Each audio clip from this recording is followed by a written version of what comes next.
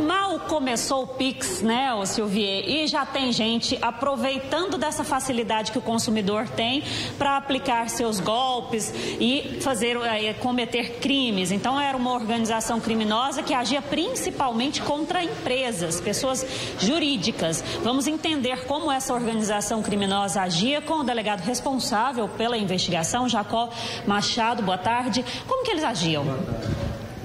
Olha, no dia de ontem nós prendemos três indivíduos e um tanto de mercadoria certo, da, da vítima, certo, aí com apoio da Polícia Militar. Eles mantinham um depósito, nós fizemos a apreensão da mercadoria da vítima, uma empresa aqui de Campinas. E o depósito, como eu disse, é, onde era mantida essa mercadoria, certo? É, então, essa compra especificamente foi feita com cartão clonado, certo? Cuja vítima do cartão mora no Rio de Janeiro, certo? Agora, eles têm outras compras de veículos né? foram realizadas fazendo pagamento através do, do, do PIX. Mas de que forma né? que eles agiam? Olha, eu, nós não, não sabemos com certeza, né?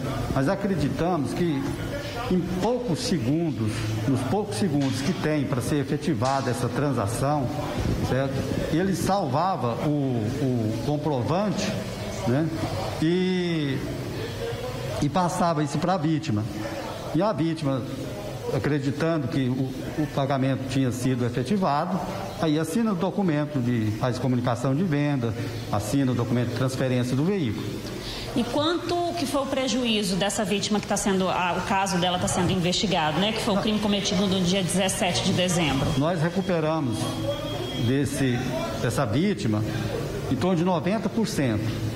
O prejuízo é em torno de 90 mil reais e ontem nós fizemos a apreensão dessa mercadoria num depósito clandestino ali no Cândido de Moraes, com apoio da Polícia Militar. Nós estivemos lá e deu dois caminhões, para você ter uma ideia, dois caminhões tamanho médio, certo? Carregados de mercadoria.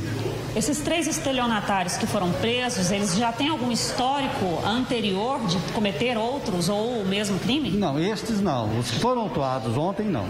Mas agora, parentes e, e pessoas próximas a eles nós já identificamos, tem mais uns cinco pessoas. Destes, sim, tem alguns que têm já passagens pela polícia. E qual é a orientação da Polícia Civil para que novas vítimas não aconteçam, para que as pessoas fiquem atentas? Olha, a gente fica. É, é, aquele negócio, tem que ter muito cuidado, né? Porque às vezes vê um anúncio, esse anúncio está clonado, eles mudam né, o, o anúncio de venda de veículos, compra, né? E, e, e assim também tem que ter muito cuidado, né? Mas não tem uma fórmula específica, né? Porque há muito, de muito tempo que a gente vem falando, a polícia orienta para que, né? Não corra, não, não venha incorrer, né? Nesse em prejuízo, né? Mas as pessoas não, não observam, né? se precipitam, né?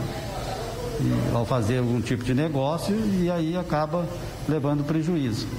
Eu agradeço muito a sua participação. É aquela coisa, né, Silvia? A vontade de não ser enganado tem que ser maior que a vontade de vender ou de comprar. Então a pessoa precisa ficar bem atenta mesmo. O Pix é uma, uma transferência que chega muito rápido. Então dá para se olhar ali através de um aplicativo ou conferir se realmente esse valor caiu na conta para só depois entregar o produto. Não, não acredite em qualquer comprovante que chegue aí na sua caixa de mensagem através de aplicativos, essas coisas porque tudo pode ser muito bem falsificado. Essas pessoas estão com tempo livre, nessa época do ano principalmente, para poder aplicar golpes nas pessoas, para poder conseguir juntar um dinheiro fácil aí, e a gente não pode confiar em ninguém. Essa é a verdade.